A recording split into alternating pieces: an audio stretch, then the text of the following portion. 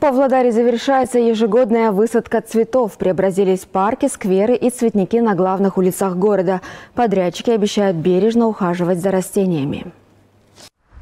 Облагораживанием Павлодара в этом году также занимаются подрядные организации. На их плечи легла обязанность по высадке и уходу за 30 тысячами квадратных метров однолетних цветов. Планируется завершение работ до конца мая э, при условии, при условии погоды.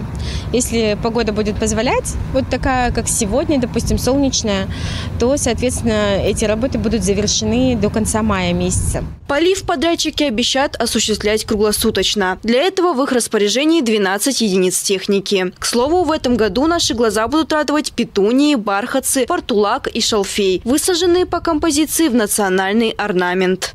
Анастасия Ерш, Евгений Олейник, Ертысакпарат.